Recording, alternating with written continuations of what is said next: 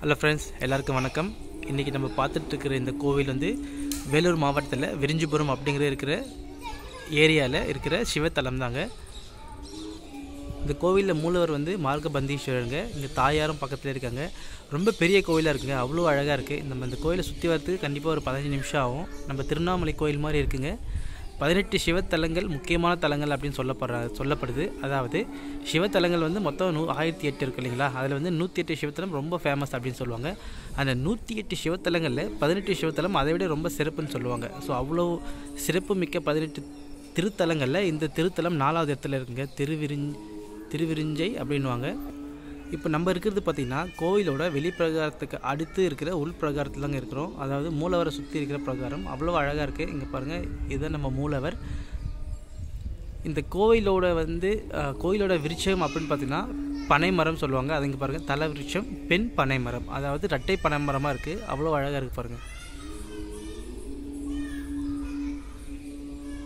எவ்வளோ ஒரு ரம்மியமான நேரம் ஒரு அழகான ஒரு டைம் ரொம்ப சூப்பராக இருக்குது இங்கே எல்லாமே இருக்குங்க. இந்த கோவிலில் முருகர் இருக்கார் விநாயகர் இருக்கார் சிவன் இருக்கார் பெருமாள் இருக்கார் அம்பாள் இருக்காங்க நவகிரகங்கள் நடராஜர் இது மாதிரி பல சிறப்பம்சங்கள்ங்க.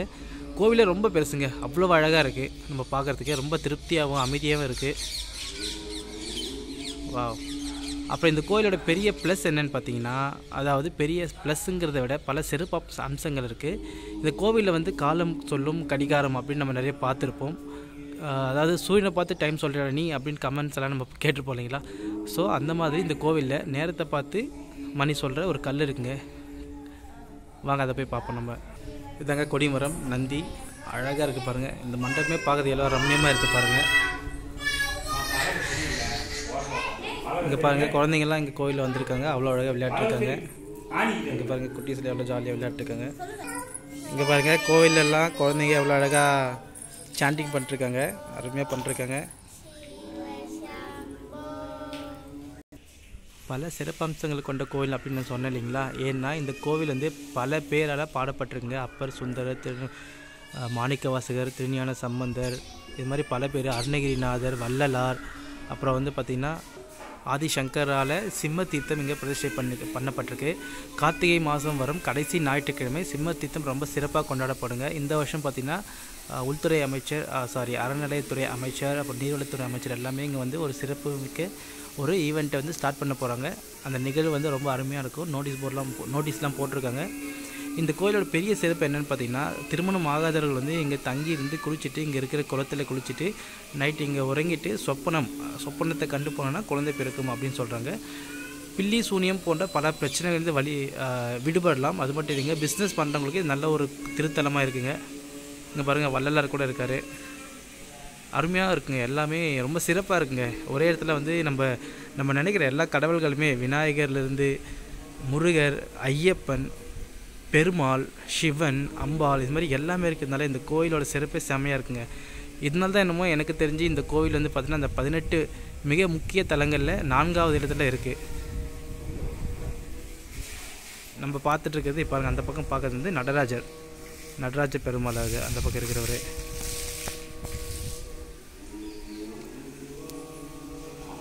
ஸோ இந்த பக்கம் அதாவது வேலூரில் இருக்கிறவங்க கண்டிப்பாக எல்லோரும் பார்த்துருப்பாங்க. ஸோ விருப்பப்படுறவங்க அவசியம் வந்து பாருங்கள் அவ்வளோ ஒரு சிறப்பு மிக்க ஒரு ஸ்தலம். கோவில் வந்து மதியமாக க்ளோஸ் பண்ணிடுவாங்க. மறுபடியும் ஈவினிங் வந்து நாலரை தான் நாலரை மணிக்கு தான் ஓப்பன் பண்ணுவாங்க. மார்னிங்லேருந்து மதியம் ஒரு பன்னெண்டு மணி வரையும் இருக்கும். அப்புறம் மதியம் முடிஞ்சதுக்கப்புறம் ஈவினிங் ஃபோர் தேர்ட்டி தான் ஓப்பன் ஆகும். இதோட இன்னும் இன்னொரு சிறப்பு என்னென்னு பார்த்தீங்கன்னா நம்ம திருவாரூர் வந்து தேருக்கு ரொம்ப ஃபேமஸ் அப்படின்னு சொல்லலாம் ஸோ திருவாரூர் தேர் வந்து அவ்வளோ அழகு. அதே மாதிரி இந்த விரிஞ்சிபுரம் கோவிலோட மதில் வந்து அவ்வளோ சிறப்பாக இருக்கும் அழகாக இருக்கும் அப்படின்றாங்க. அப்போது இதோட சுவர் சுற்றுச்சுவர் எப்படி இருக்கும் பாருங்கள் அப்போது எந்த லெவலுக்கு இதை விவரிச்சிரு விவரிச்சிருப்பாங்க பாருங்கள் இதாங்க மூலவர்.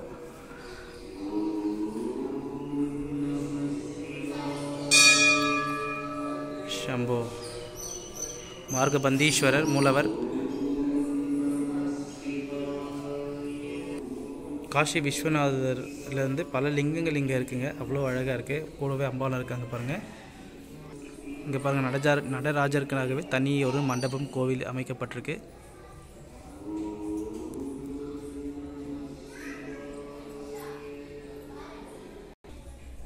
அம்பாள் சன்னதிங்க. உள்ளே அலோவ் பண்ணல. அதை வெளியிலேருந்தே காமிச்சிட்ருக்கேன் நவகிரகங்கள் இது மாதிரி எல்லாமே சிறப்பு அம்சமாக இருக்குது எல்லாமே அமைஞ்சிருக்கு ஒன்றிணைந்து அமைஞ்சிருக்கு. கொடிமரம் பாருங்கள் எவ்வளோ அழகாக அமைஞ்சிருக்கு.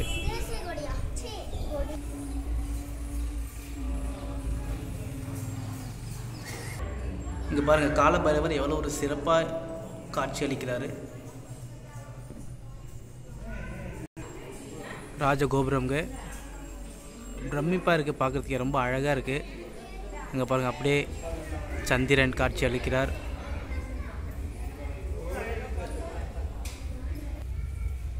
இங்கே பாருங்கள் எவ்வளோ பெருசாக இருக்குது பாருங்கள் இது வந்து வெளிப்பிரகாரங்க மூலவருக்கு அடுத்து இருக்கிற பகுதி. கோஷாலை இருக்குது இங்கே. திருவாரூர் தேர் அழகு திருவிரிஞ்சை மதில் அழகு அப்படின்னு சொல்கிறது நூறு பர்சன்ட் உண்மைங்க.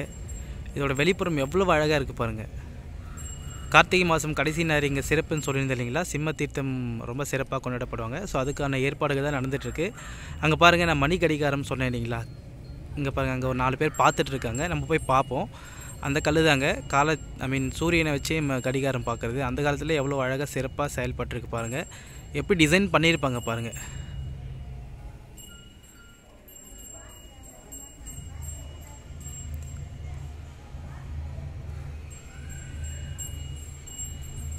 எவ்வளோ ஒரு அழகான தருணம்.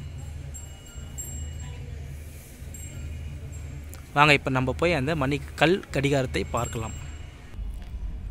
டைமிங் ஸ்டோன் அதாவது மணி காட்டும் கல். அந்த காலத்தில் உண்மையிலேங்க நம்ம இவ்வளோ டெக்னாலஜி இருந்து இப்போ இப்போ ஒரு கண்டுபிடிப்பு பார்க்குறது வந்து ரொம்ப சாதாரணம். ஏன்னா டெக்னாலஜி அந்த லெவல் டெவலப் ஆகிருக்கு பட் அந்த நூற்றாண்டில் பல ஆயிரக்கணக்கான வருஷத்துக்கு முன்னாடி ஒரு கல்லை வச்சு எப்படி டைம் பார்த்துருப்பாங்க பாருங்கள் எவ்வளோ அழகாக அதை வந்து டிசைன் பண்ணி வச்சுருக்காங்க. ஆனால் உண்மையிலேங்க எனக்கு எப்படி டைம் பார்க்குறதுன்னு தெரியலைங்க. நான் ட்ரை பண்ணி பார்த்தேன். இங்கே பாருங்கள் யாரும் குச்சி வச்சு ட்ரை பண்ணியிருக்காங்க.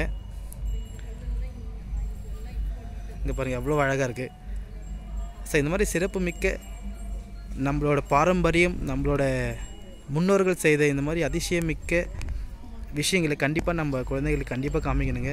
ஸோ அவசியம் ஃபேமிலியோடு வாங்க இந்த கோவிலுக்கு. அவ்வளோ சிறப்பாக இருக்குது வாங்க இப்போ நம்ம போய் சிம்ம தீர்த்தத்தை பற்றி சிம்ம தீர்த்தத்தை பார்த்துட்டு வரலாம்.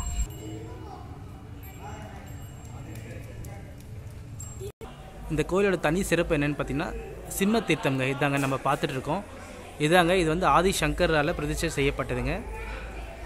இங்கே பாருங்கள் கீழே வந்து ஸ்டெப்ஸ் இறங்க தரையை விட கிட்டத்தட்ட ஒரு முப்பது நாற்பது அடி கீழே இருக்குங்க. ஸோ இந்த ஸ்டெப்ஸ் வழியாக போனோம்னா அங்கே ஒரு குளம் இருக்கும். அந்த குளத்தில் வந்து நீராடிட்டு நம்ம வே நம்ம வேணுனது கண்டிப்பாக எல்லாமே நடக்கும் அப்படின்றாங்க. குழந்தை பாக்கியம் பில்லி சூனியம் போக தொழில் விருத்தி பெற இது மாதிரி பல நல்ல விஷயங்களுக்கு ரொம்ப சிறப்பாக இருக்குங்க. வாங்க நம்ம போய் குளத்தை பார்த்துட்டு வரலாம்.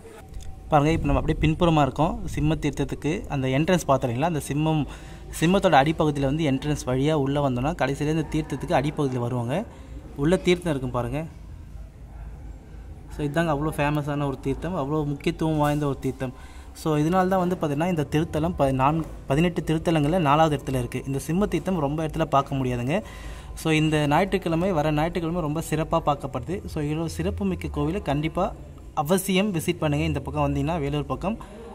இந்த சேனல் உங்களுக்கு பிடிச்சிருந்தா லைக் பண்ணுங்கள் சப்ஸ்கிரைப் பண்ணுங்கள் ஃப்ரெண்ட்ஸ் அண்ட் ஃபேமிலிக்கு ஷேர் பண்ணுங்கள் தேங்க்யூ